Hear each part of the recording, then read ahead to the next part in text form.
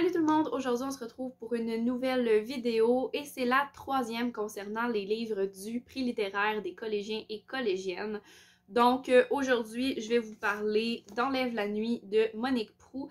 Donc, comme je vous dis, c'est le troisième livre que j'ai lu pour le prix littéraire et euh, ben, on est euh, sur la bonne voie. Donc sans plus tarder, on commence la présentation. Dans Lève la nuit, on va suivre Marcus, qui est un euh, jeune homme de 20 ans qui va en fait vivre une renaissance. Donc, il va quitter euh, la communauté euh, dans laquelle il a vécu toute sa vie pour en fait, parce que ça ne lui correspondait pas comme mode de vie, comme communauté, ça ne fitait pas avec lui. Et il va se retrouver en fait dans Montréal avec aucun repère en fait, parce que c'était une communauté très très fermée et très stricte. Donc, euh, il n'y avait aucun moyen, là, euh, en fait, il connaissait rien à la modernité, euh, à, ce, à quoi ressemble la vie et Montréal aujourd'hui. Donc, il va se retrouver un petit peu, pardonnez mon anglais, mais clueless dans cet univers-là, qui est tout nouveau pour lui, à devoir apprendre tout en ayant un certain bagage, quelque chose qu'il ne peut pas nier, déjà une flamme qui vit. Et ben, c'est ça qu'on va suivre comme histoire. Donc, euh,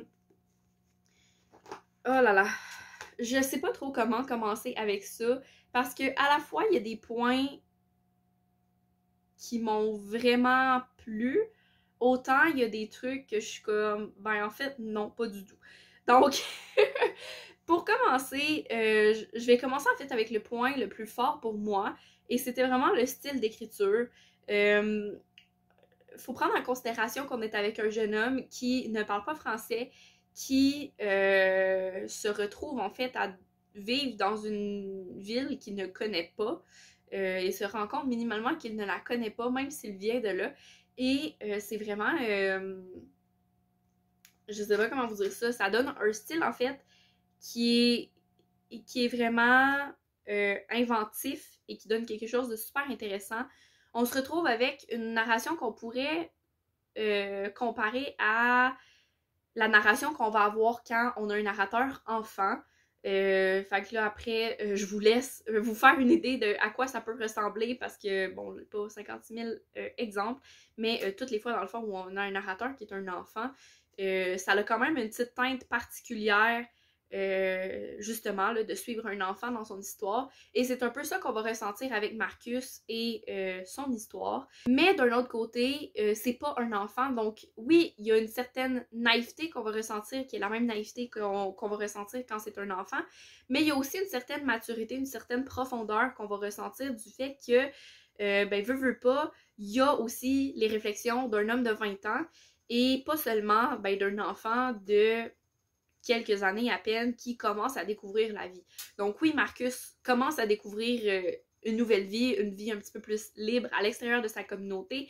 C'est un nouveau mode de vie, c'est des nouvelles, euh, des nouvelles contraintes sociales, c'est un nouveau style de vie. Mais pour autant, ben Marcus a déjà vécu beaucoup de choses quand même déjà, euh, puisqu'il n'a pas 8 ans, il en a 20. Donc ça amène une certaine euh, profondeur, si on peut dire, au euh, style puis à l'écriture. C'est une écriture aussi qui est quand même assez euh, poétique. je me souviens avoir surligné je ne sais combien de phrases que je trouvais absolument magnifiques ou de passages que je trouvais vraiment magnifiques. aussi le fait qu'on se retrouve avec un, un, jeune homme qui à la base ne parle pas français puis qui est comme, on va dire, en apprentissage pendant l'écriture du livre. ça va faire que certains certains passages, on va se retrouver avec des moments où, euh, en fait, euh, Marcus va avoir une manière de décrire les choses que, ben, nous, on utiliserait tout simplement le mot pour dire, ben, c'est telle chose, c'est une chaise, c'est une chaise. Ben, lui, il va, euh, je, prends l'exemple de la chaise, mais c'est vraiment pas ça, mais tu sais, lui, il va dire, tu sais, il va avoir une autre manière de le décrire qui va être plus justement un petit côté enfantin, un petit côté euh, de découverte et tout. Donc ça rendait le style assez intéressant au niveau de l'écriture. Toutefois, euh, une chose que j'ai trouvé un petit peu difficile, c'est les phrases, la longueur des phrases.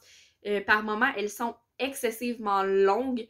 la structure, la syntaxe qui vient avec le fait qu'on a un personnage qui connaissait qui, qui connaît pas nécessairement le français à la base, qui vient avec le fait qu'on a un personnage qui a un regard un petit peu plus naïf, ben ça fait en sorte que des fois les, longues phrases, tu perds le fil un peu dedans, puis tu deviens un petit peu mélangé, puis moi je trouvais que ça essoufflait beaucoup euh, le texte. Donc euh, il y a eu ce petit, euh, ce petit couac-là pour moi au niveau de l'écriture, mais sinon de manière générale, je vous dirais que c'est vraiment l'écriture qui a réussi à me tenir accrochée dans l'histoire parce que l'histoire en soi, ouf, ça l'a complètement été autre chose.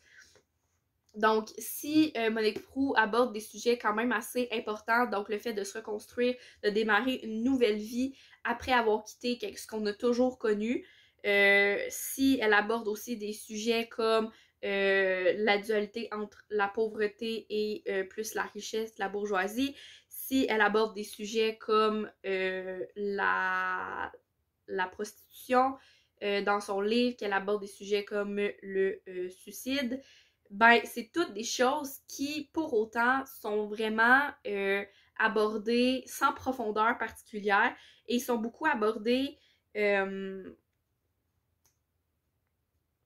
en fait de manière un peu superficielle dans le récit, au point où on a un peu l'impression que c'est des, sujets qui auraient pu être super intéressants, mais en fait c'est tellement abordé de manière, euh, j'ai même pas envie de dire naïve, mais on dirait que c'est banalisé, on dirait que c'est juste euh, ben voilà, mais on, je le mets sur le côté, que, ben en fait, c'est ça, ça reste vraiment superficiel. On reste limite dans les clichés de ces éléments-là, puis on cherche pas à aller plus loin. Donc, ce qui aurait pu être super poignant, euh, surtout avec le style d'écriture qui est un petit peu plus inventif, un petit peu plus particulier, ben ça perdait tout de son importance en fait. Donc, euh, c'est un peu ça rapidement euh, que j'ai à dire sur euh, Enlève la nuit. C'est ça, tu sais, c'est vraiment un livre qui, selon moi, euh, tu vas plus aller chercher du, du divertissement, peut-être. Ça se lit quand même bien. Les pages se tournent assez vite. Mais c'est vraiment plus pour le divertissement que tu vas aller chercher ça que pour un réel changement interne et personnel. Parce que c'est ça, les sujets, en fait, sont pas assez abordés en profondeur. Il aurait mérité d'être qu'on descende de la petite couche superficielle, qu'on descende des clichés pour vraiment s'en aller plus profond et essayer de les traiter au maximum avec le plus de, de avec un peu plus de sensibilité aussi. Donc euh, voilà, c'est ça euh, mon avis euh, personnel. Pour moi, Enlève la nuit se glisse entre les deux précédents romans. Donc Morel garde la tête, Enlève la nuit vient prendre la deuxième place et les marins restent en dessous parce que c'est ça. Donc, euh, je vous rappelle que ça, c'est mon petit classement personnel, mais qu'à part de ça, ben c'est ça, ça n'engage que moi. Donc voilà, ça va être tout pour euh, cette vidéo. Euh, j'espère que vous aurez apprécié. Si vous avez lu Enlève la nuit, n'hésitez pas à me dire votre avis en commentaire et à liker la vidéo peu importe les circonstances. Euh, et euh, n'oubliez pas aussi de vous abonner à la chaîne pour être sûr de rien manquer des vidéos qui vont sortir dans les prochaines semaines. Sur ce, je vous souhaite une excellente journée et je vous dis à la prochaine. Bye bye!